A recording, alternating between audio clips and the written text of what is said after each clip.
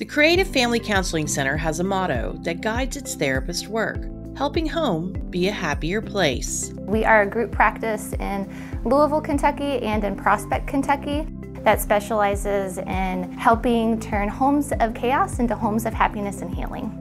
We are mostly marriage and family therapists, which is a systemic model of therapy, which means we're treating the entire family when we're treating a child. Or we're treating the entire family when we're treating a young adult, or we're working with the entire family when we're working with a couple or even an individual adult. It's an important undertaking at any time but perhaps especially so during the last two years. Prior to the pandemic, there was a strong emphasis on providing support to parents already. But during the pandemic, the need for that support for parents really increased. The only problem with providing that support for not just parents, but the whole family during the early part of 2020 Everyone at Creative Family Counseling was also having to adjust to the sudden and shocking onset of COVID 19. And as a supervisor, I didn't have the answers. Suddenly, I was canceling all of my appointments because, you know, things were shutting down and um, schools were shutting down and all of these things. And so people weren't really quite sure what to do yet. Rebecca Street is the practice manager at the Linden location. She's also a therapist who practices attachment based family therapy which she explains is an evidence based treatment for adolescents and adults, and one of the few effective treatments for preventing suicide attempts. It is a really difficult model to practice via telehealth because so much of the energy of what you're working with happens in the room. But there was little research on just how to make that adjustment. There's less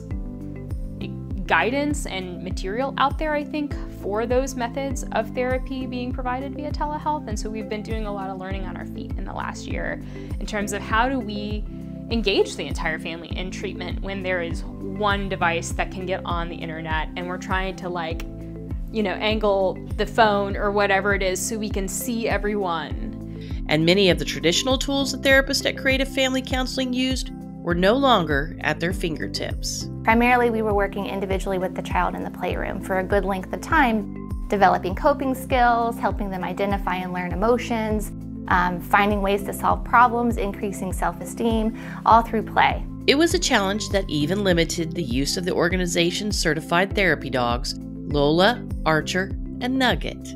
If you take time to read how each of the dogs can help, which we did, it ranges from providing a calming presence to clients who may feel anxious about coming to therapy to helping people stay grounded when they discuss strong feelings or painful memories. And, for the record, Nugget will quote, make appearances on screen with telehealth, something therapists themselves across the country were at times struggling with how to manage. I think a lot of it is that by and large, the types of intelligences between being technology competent and being a gifted therapist don't often overlap. And so I think it's not a comfort zone for a lot of people that work in our profession. Even the people that provide trainings have had to learn how to deliver those in new ways, and we've had to learn how to deliver therapy in new ways. Adding to the confusion, each state approached the issue of providing therapy via telehealth differently.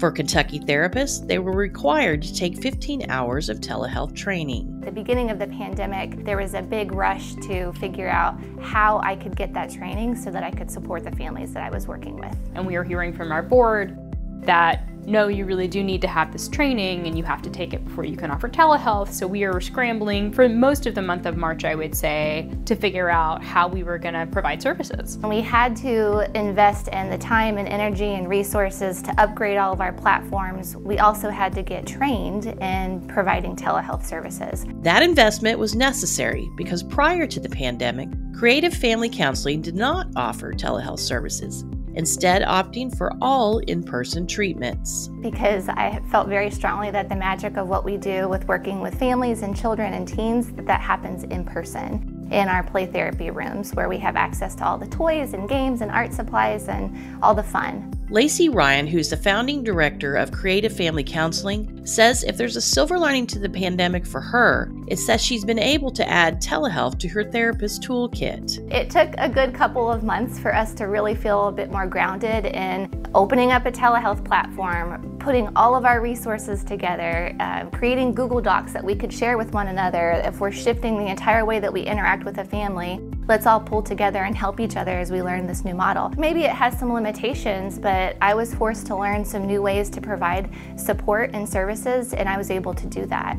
Part of making that adjustment meant thinking of how to better utilize telehealth. We were able to find some virtual play therapy resources, virtual sand tray, um, that we could continue to try to provide as much intervention as we could, but from a distance. Other times I would have my puppet on screen with me. We would be having playful inter um, interventions and activities across the screen with one another. But with schools shifting to remote learning and so many other things moving to online platforms, it was clear that the therapist also needed to consider how much screen time kids were already getting and how to help parents cope with it all.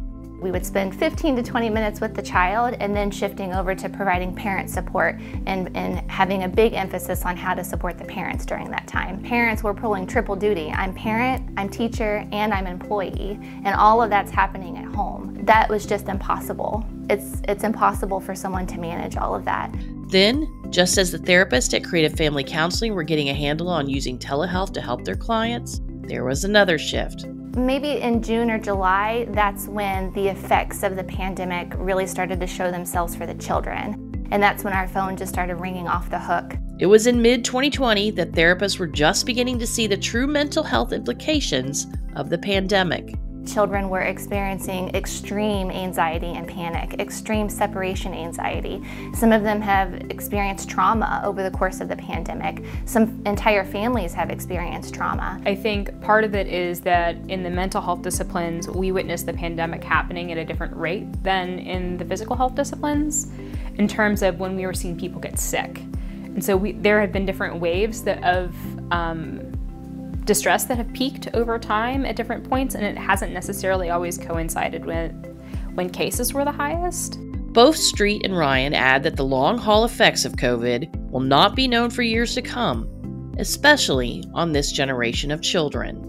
Teenagers developmentally are supposed to be like separating from their parents and developing their own interests and really developing their own sense of self. And it's really hard to do that when you are locked in a house with your parents for two years. I've ushered a couple kids into college through all of this and watching their process be very different than kids before them and how they've managed that. The good news during this troubling time was that telehealth allowed creative family counseling to reach more people.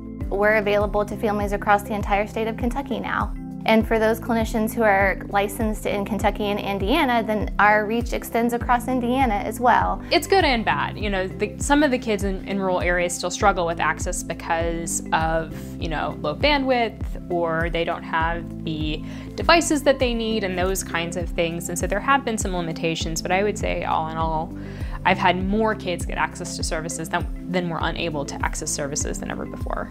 The therapists say they also learned that telehealth can help them connect with those who often find themselves being treated like outsiders in their own communities or simply are too afraid to try therapy. We've also found that there are some middle schoolers, teenagers, and, and college age kids, that kind of, you know, eight year gap of, uh, or eight year range of people who prefer telehealth. They like being on screen. It feels safer to not be so close and up close with someone and be vulnerable, that it feels a little safer to be vulnerable across a screen. For some people in our communities, like disabled people, the pandemic didn't change much in terms of how separated and segregated they were from their community to begin with. Something both Street and Ryan say they are hopeful will change as we find new ways to interact with each other and those who are both alike and different from us.